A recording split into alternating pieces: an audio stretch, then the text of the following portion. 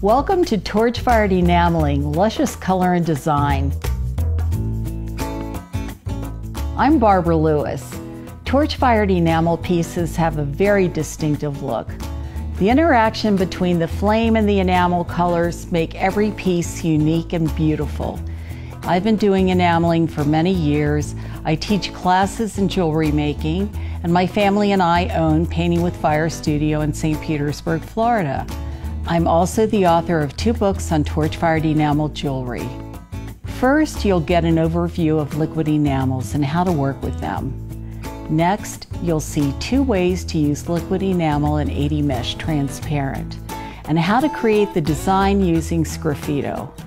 Then we'll dive into decals, acrylic enamels, etching metal, and die cut stencils.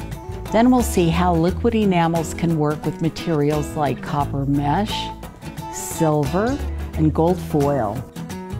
In the class materials, you'll find a list of supplies and other resources that you can download and follow along. Please ask questions by posting them on the platform and upload photos of your pieces. Please share your experiments and happy accidents with the class. Okay, let's get started. Enroll today on Craftsy.